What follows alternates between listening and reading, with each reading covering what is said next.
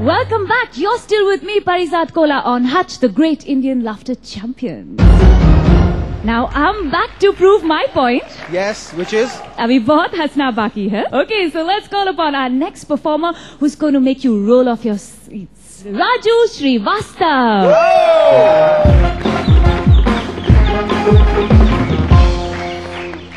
राजू भैया पान नहीं है इस बार?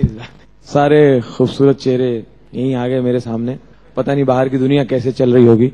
हमारी बिल्डिंग के जो वॉचमैन है उससे सब लोग बहुत परेशान है। परेशान हो के समझाने के बाद भी नहीं माना। फाइनली हम मीटिंग करके उसको निकाल दिया। उसकी प्रॉब्लम ये थी रात को डंडा लेके घूमता था बिल्डिंग के चक्कर लगाता था और एक ही बात ज़ोर ज़ोर बोलता था जागते रहो! जागते रहो। मेरे भरोसे मत रहो।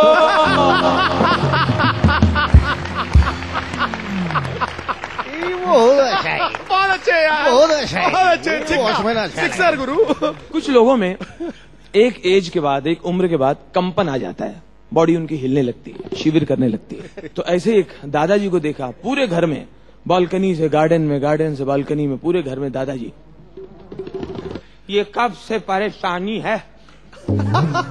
डॉक्टर को दिखाते नहीं हो। ग्रैंडसन बोला आयला मेरे को क्या मालूम ये तकलीफ़ है? मेरे को लगा आप बोलते हो मैं तो बाबा मज़े में हूँ। आप लोग अपना अपना देखो। नहीं ये तो तकलीफ़ है। अच्छा चलो डॉक्टर के लिए चलता हूँ। ग्रैंडसन ने कार में बिठाया दादाजी को डॉक्टर के लाया। डॉक्टर डिस्पेंसरी दिखी। दादाजी आप यहीं खड़े रहना मैं तब तक केस पेपर बनवा लेता हूँ। दादाजी वहीं खड़े हैं कार से निकल के वो केस पेपर बनवा रहा है। इतने में कंपाउंडर भागता हुआ है। अरे वो कार के पास खड़े हो किसके साथ है वो? वो कार के पास किसके साथ है? मेरे साथ है मेरे दादाजी है। क्यों क्या हुआ? अरे उनको बंद तो करो स्टार्ट करके छोड़ दिया।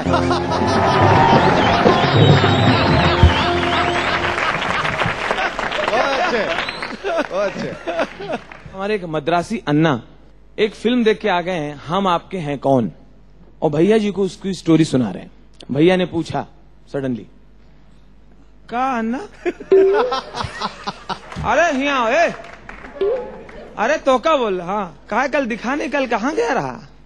तो यार, नारियल की दुकान बंद रहा बाकड़ा बंद रहा, कल कहाँ गया रहा? Yesterday I have seen Hindi movie मैं मैं तेरा कौन रे?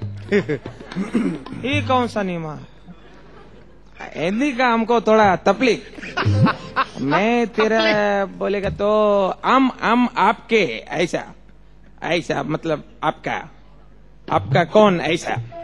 हाँ वो देखे हो गए मतलब हम आपके हैं कौन? हाँ वही देखा हमारे हिंदी का तकलीफ़ वो तुम बोला वो देखा। आ, वो फ़िल्म में अच्छा दिखा है पर आई डोंट लाइक हमारा कन्नड़ फ़िल्म में छह छह रेप रेप नहीं होएगा तो हमारा पैसा वसूल नहीं होता है. रियली रेप में स्ट्रगल दिखाता है. पकड़ेगा छोड़ेगा भागते फिर इधर आएगा भागेगा. तो लाइफ में स्ट्रगल हम हम भी इधर स्ट्रगल करके धंधा शुरू किया। स्ट्रगल देखते हमको अच्छा लगता बाद में हम आके कौन के अंदर दो अन्ना रहते हैं? बड़ा अन्ना बोलेगा तो मोनिश बैल, छोटा अन्ना सलमान। मोनिश का ऐसा शादी दिखाएगा तो शादी में सब छोकरी लोग मिलके सॉन्ग करने का। दीदी तेरा देवर, दीदी बोलेगा तो अरे दीदी मतलब जो है, बहन मतलब बहन को जो है मतलब दीदी कहता बाद में बहुत टेंशन का बात हो गया। वो, ये सब छोकरी लोग मिलके जूता चुराने का। मेरे को लगा एकदम इसका शादी एकदम चोर फैमिली में हो गया। बाद में इधर एक टेंशन बिल्डअप किया। वो किसका शादी? मोनिश का शादी, वापस माधुरी सोना बोल के, मैं भी टेंशन में। जैसे जैसे टेंशन हुआ मैं लुंगी ऊपर करना स्टार्ट किया। थोड़ा टेंशन हुआ तो थोड़ा उठाया और टेंशन हो तो और उठाया मेरे बाजू वाले बोला, लुंगी नीचे करना है, इधर लोग मारता है। ये कन्नड़ नहीं है। है बाद में डॉग है वेरी क्यूट व्हाइट कलर का व्हाइट डॉग व्हाइट डॉग उधर जाने का, और मुँह में मुँह में मतलब ऐसा लेटर लेटर ऐसे लेटर लेके मोनिश को देख के क्लियरिफिकेशन कि किसको लप रहा है बोल के मेरे को बहुत अच्छा लगा मैं पूरा लुंगी नीचे गया। काम वाली बाई एक बहुत बड़े बहुत बड़े आदमी के घर काम करती थी। मंत्री थे बहुत बड़े। वो गुजर गए। अब ये काम वाली बाई सीधी साधी ये उनकी मैयत में जाके आई है और अपनी सहेली को मैयत के बारे में बता रही है। अरे ओ, शांता भाई। हमारे साहब का मैयत देखा क्या? अरे देखने से सरीका तो अरे काय मैयत होता रे बाबा? अरे काय गर्दी, दुकाना विकाना बंद, गर्दी। वो गर्दी देख के मेरे को मालूम पड़ा, मेरे साहब बहुत बड़ा आदमी था। ये मेरे को पहले मालूम पड़ता तो मैं पगार बढ़ाती थी। अरे कैसे इतने बरस निकाला रे बाबा? अरे देखने सरी का मैयत था। अरे आगे आगे एक आदमी फटपट्टी पे चलने का, ऐसा हेलमेट डाल के, बाजू बाजू, पब्लिक को बाजू करते रहने का। उसके पीछे लाल बत्ती का गाड़ी, नंतर नीली बत्ती का गाड़ी, फिर लाल बत्ती का गाड़ी, नंतर नीली बत्ती का गाड़ी। उसके पीछे हमारे साहब ना, लॉरी में ऐसा डेड बॉडी जैसा लेटेले थे। हमारे मेम साहब ने हार, वीर, बहुत खर्चा किया, उधर ना पूरा लड़ी वड़ी लगाया। खर्चा किया। काई को? साहब पहली बार मरे थे ना? अरे बाबा, देखने सरीखा डेड बॉडी था। ऐसा ज़िंदगी में डेड बॉडी ने देखी। अरे बाबा, पीछे लारी लारी के पीछे लारी, उसके पीछे डेढ़, दो हज़ार मानुस ऐसा बोलने का, अमर रे अमर रे, ऐसा बोलने का बोलने का।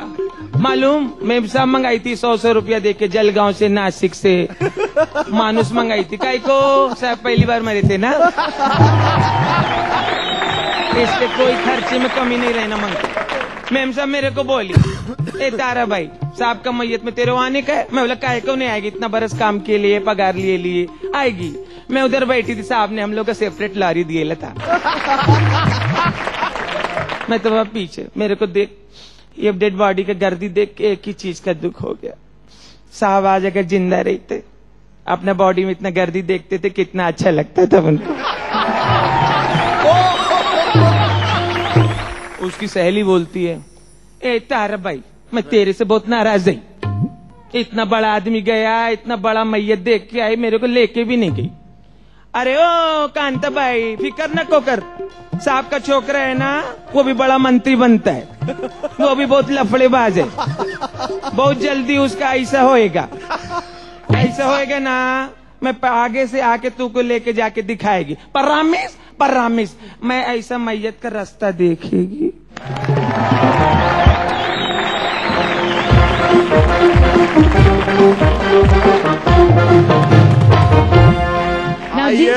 make you roll off your seats? इसलिए तो हम दोनों ने एक दूसरे को बांध के रखा हाथ पकड़े रहते हैं देखो कभी ना कभी तेरा दामन न छोड़ेंगे हम He certainly made me roll off my seat backstage. Yes Trust me. Even we fell off a couple of times. We have more Laughter Masters coming up, but after this quick break, and you know what you gotta do. Just keep that smile on your face, and we'll be back soon.